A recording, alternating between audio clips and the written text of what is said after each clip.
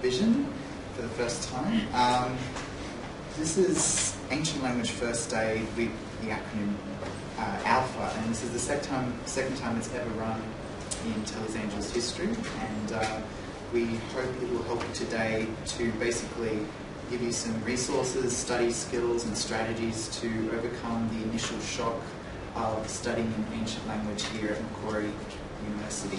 And um, so first we're just going to, before I explain a bit more about ALFA, we're just going to introduce ourselves and um, basically what languages you're studying um, and uh, if you know any other languages that you've studied in the past and one word from uh, the language you're studying at the moment or languages that you're studying at the moment that you know, um, just for interest's sake, your favourite word so far. So, um, my name is Evan, and something you probably already know me from uh, the Latin past sessions. But um, I've studied two years of Latin and two years of Greek, or I'm kind of doing, hopefully, kind of third year this year.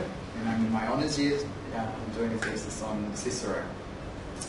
And I hadn't studied any languages really, except for kind of some, some potted Indonesian um, before I came to Macquarie, and so I was in exactly the same boat as many of you maybe are, um, without any language experience, and was quite shocked when I had to learn all these things about Latin in my first year. So my favourite Latin word, I guess, would be I don't know, um, it would have to be something like glis, which is a dormouse in Latin. Um, quite an odd word, but you learn it in second year because one of the lecturers loves using that word just for the sake of comic value. so, I'll Hi. pass on to Ellen. Yep. Hi everyone, I'm Ellen. Um, I'm in my third year of the Bachelor of Ancient History and I've done three semesters of Greek, also three semesters of hieroglyphs and I'm currently studying Coptic as well. And I suppose like most people you dabble in a bit of languages at high school, you might do a little bit here and there as well. But like Evan, my serious ancient language study happened in my first year with Greek.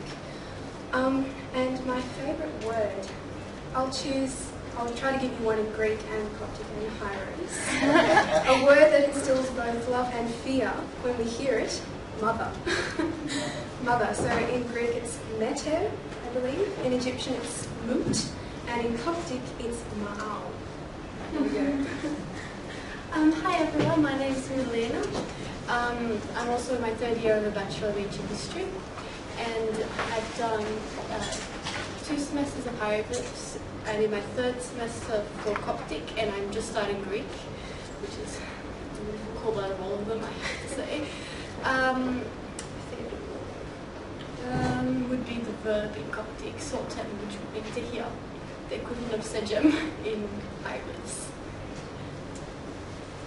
Hi everyone, my name's Liz. I'm in my third year of Bachelor of Ancient History. Um, I did a little, little bit of Italian at high school, um, so that helped me when I came to study Latin at Macquarie. Um, I've done a bit of Greek as well, but Latin's really my calling, um, you could say. Um, my favourite Latin word, probably just because of the person who taught it to me, and Leonardo, was probably Wacko, just because it's really funny.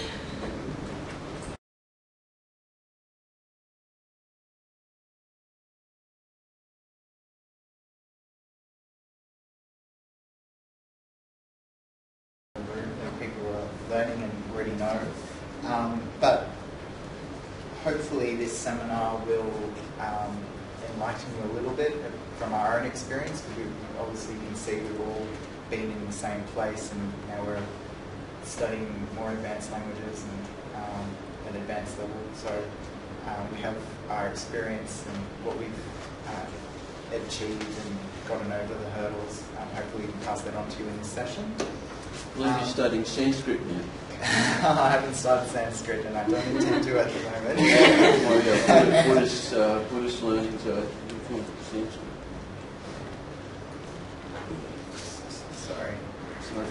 the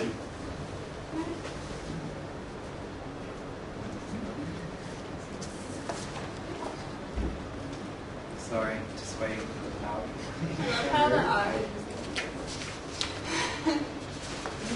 Anyways, has everyone got a uh, fight freak out document? Yeah, everyone got the handout? Oh, my wax so slow.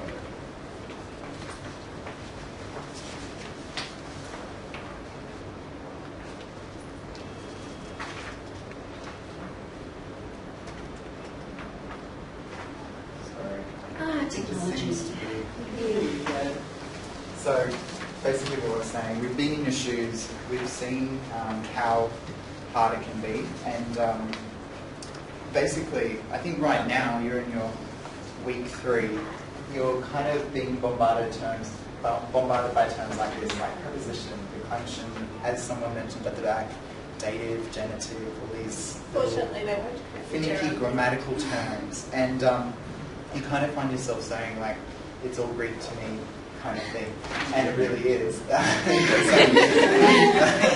so, um, what we've um, one of the first resources we kind of devised um, from our own experience is the fact that when we came to learning an ancient language, we didn't actually we found very quickly that we didn't actually know the grammar of our own language, our own native tongue, English, and um, in so many of the ancient languages, we've used English grammatical concepts to describe um, ancient grammatical concepts. And so you can't really get anywhere unless you know the grammar of your own language first, quite um, in a detailed manner, rather than just this is a noun and this is a verb, and those are kind of the only two concepts I know. Um, so we've devised a guide which you can access um, on the Tele's Angels website. Um, and it's free and it's in lots of divided sections. So you don't have to download one massive document. You can just download what's applicable to you at your certain stage. So you might be encountering nouns this week. I know that people in Latin are, um, and you're encountering cases and you're kind of going, what's a case? What's a case? Like we don't really know what cases are and we don't know how they work and how they fit into what I know of English and how I speak English. And if you can't fit it into your knowledge of English, then how can you translate it into English? That's one major problem. So might just go to the web web page if I can, and just quickly show you where you can access that. So this is the, the wonderful homepage of Tele's Angels. Um, and for all your resources, you go to the nice Egyptian lady there holding a bunch of scrolls, and uh, you can go to ancient language first aid. And then we've got all the resources there. So see here we've got the first aid kit. So we've got nouns, pronouns, adjectives, verbs, all of those are uh, covered in a guide um, devised by the lovely Veronica Power in association with others.